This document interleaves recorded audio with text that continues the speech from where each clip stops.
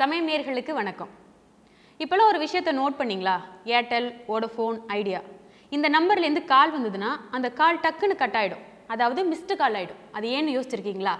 இதுக்கு பின்னாடியும் ஒரு பிஸ்னஸ் இருக்குது ஐயூசி அப்படின்னு ஒரு அமைப்பு இருக்குது இந்த அமைப்பு என்ன பண்ணுன்னா ஏர்டெல் வோடஃபோன் ஐடியா இந்த மாதிரியான நெட்ஒர்க்கிட்ட இருந்து ஒரு நிமிஷத்துக்கு ஆறு பைசா வசூலிக்கும்.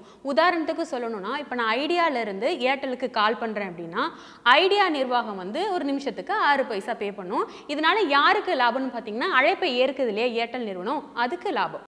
பொதுவாக ஒருத்தருக்கு கால் பண்ணும்போது அந்த கால் டியூரேஷன் ரிங்கிங் அளவு எவ்வளோ இருக்கணும்னா நாற்பத்தி அஞ்சு செகண்ட் இருக்கணும். இதுதான் வந்து ட்ராய் வகுத்திருக்கக்கூடிய விதிமுறை.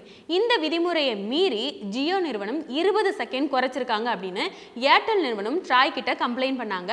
ஏன்னா அப்போ தான் அவங்களுக்கு மிஸ்டு கால் ஆகி அங்கேருந்து இன்கமிங் கால் வரும்போது அவங்களுக்கு வருமானம் அதிகரிக்கும். இதுதான் அவங்களுடைய நோக்கம் அப்படின்னு சொல்லி கம்ப்ளைண்ட் பண்ணியிருந்தாங்க. இதை எதிர்த்து ட்ராய் வந்து கேள்வி கேட்டாங்க. அப்போது ஜியோ நிறுவனம் இருபது செகண்ட்ல இருந்து இருபத்தி அஞ்சு செகண்ட்க்கு அந்த டியூரேஷனை இன்க்ரீஸ் பண்ணாங்க. மறுபடியும் ஏர்டெல் வோடஃபோன் இந்த நிறுவனங்கள் போய் இன்னும் முறைகேடுகளில் தான் ஈடுபட்டு இருக்கிறாங்க அப்படின்ற மாதிரி ஒரு கம்ப்ளைண்ட்டை ட்ராய் கிட்ட வைக்கிறாங்க. ஆனால் ட்ராய் அதை பெருசாக கண்டுக்கல. இப்போ என்ன பண்ணியிருக்கிறாங்கன்னா ஏர்டெல் வோடஃபோன் ஐடியா இந்த மூணு நிறுவனமும் அவங்களுடைய டியூரேஷன் அளவு நாற்பத்தி அஞ்சு செகண்ட்ஸ்ல இருந்து இப்போ இருபத்தி அஞ்சு செகண்ட்ஸ்க்கு கொண்டு வந்துட்டாங்க. இப்போ இவங்களும் ஜியோவோட இணைந்து அந்த லாபத்தை ஈட்டக்கூடிய முயற்சியில் ஈடுபட்டிருக்கிறாங்க. இப்படி தொடர்ந்து கம்ப்ளைண்ட்ஸ் வந்துட்டே இருக்கிறதுனால ரெண்டாயிரத்தி இருபதாம் ஆண்டு இந்த கட்டணமே எங்களுக்கு வேணாம்பான்னு ஐயூசி முடிவெடுக்க போறதாவும் ஒரு தகவல் பரவலாக வந்துட்டு இருக்கு.